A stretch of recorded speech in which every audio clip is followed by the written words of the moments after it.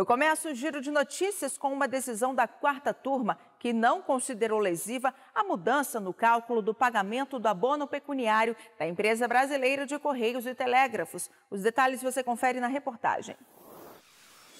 O Sindicato dos Trabalhadores e Empresas de Comunicação Postal, Telegráficas e Similares de Juiz de Fora e Região sustentava que a empresa sempre havia quitado a parcela relativa à venda das férias com a gratificação de 70%, conforme previsto em acordo coletivo.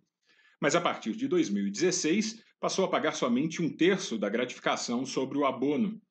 A ECT argumentou que fez a mudança depois de constatar que a gratificação de 70% incidia duas vezes, sobre os 30 dias de férias e, novamente, sobre os 10 dias vendidos. O Tribunal Regional do Trabalho da Terceira Região considerou a alteração lesiva aos empregados. Para o TRT, a nova norma de cálculo poderia ser aplicada apenas aos novos empregados, conforme a súmula 51 do TST.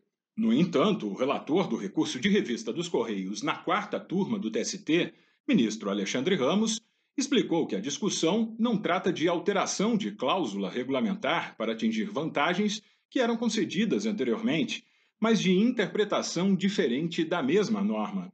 Segundo ele, com a mudança no cálculo, os empregados continuaram a receber a gratificação de 70% prevista em negociação coletiva, apenas deixaram de receber o valor equivocado de 93%. E isso não constitui ofensa à CLT, que veda a alteração contratual lesiva, nem a súmula 51 do TST. Para o relator, o valor da gratificação de férias fixado em lei ou por convenção não se altera na hipótese da venda de um terço do período de descanso anual. A decisão foi unânime. Uma médica de navio mercante que não possuía alojamento para a mulher vai ser indenizada por dispensa discriminatória. A decisão é da sexta turma.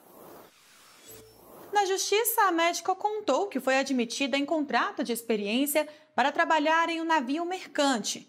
A profissional afirmou que durante a primeira viagem teve de passar três dias na cabine de um colega do sexo masculino o que é proibido por lei. Disse ainda que só pôde usar a cabine sozinha após o desembarque de um tripulante, mas logo depois foi surpreendida por outro colega na cabine enquanto descansava no horário de almoço.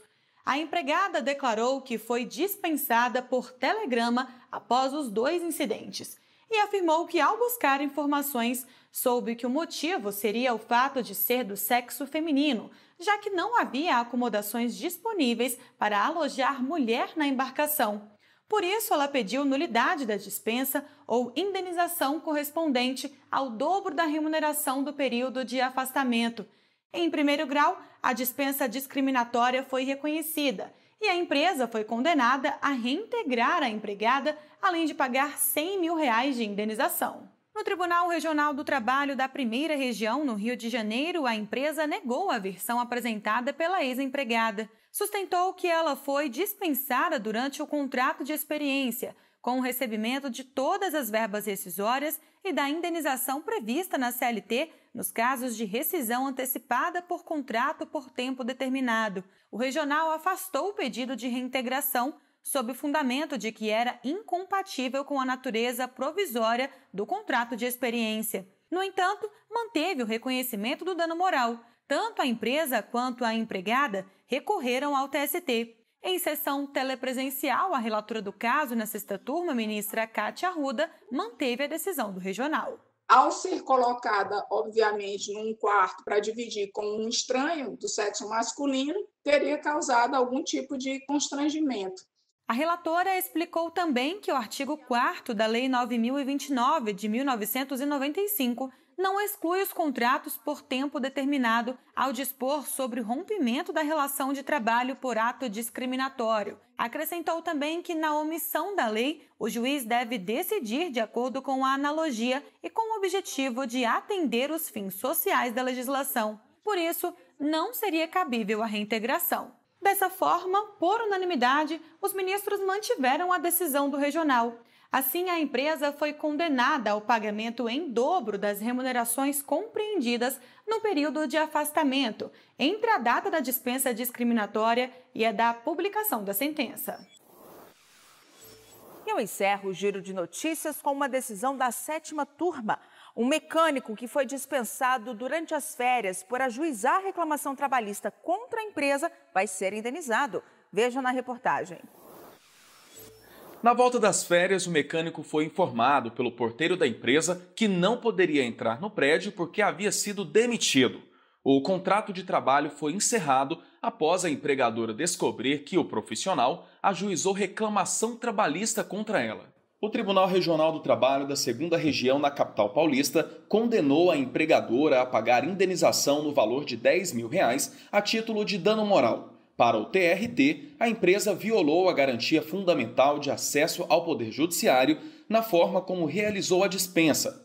Após recurso da empregadora, o caso chegou ao Tribunal Superior do Trabalho.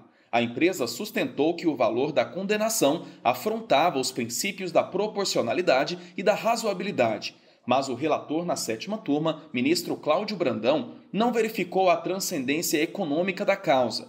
Segundo o ministro, o valor da indenização é inferior aos fixados no Código de Processo Civil e ao adotado pela turma como parâmetro. O relator também afastou a transcendência política, social e jurídica do caso. Assim, a sétima turma não aceitou o recurso da empresa e ficou mantida a condenação. Dessa forma, a Express Transportes Urbanos de São Paulo capital terá de indenizar o mecânico por dano moral no valor de 10 mil reais. A decisão foi unânime. E não deixe de conferir esses e outros julgamentos no canal do TST no YouTube. As sessões são transmitidas ao vivo e depois ficam disponíveis no canal para você acompanhar quando quiser. Acesse youtube.com/tst.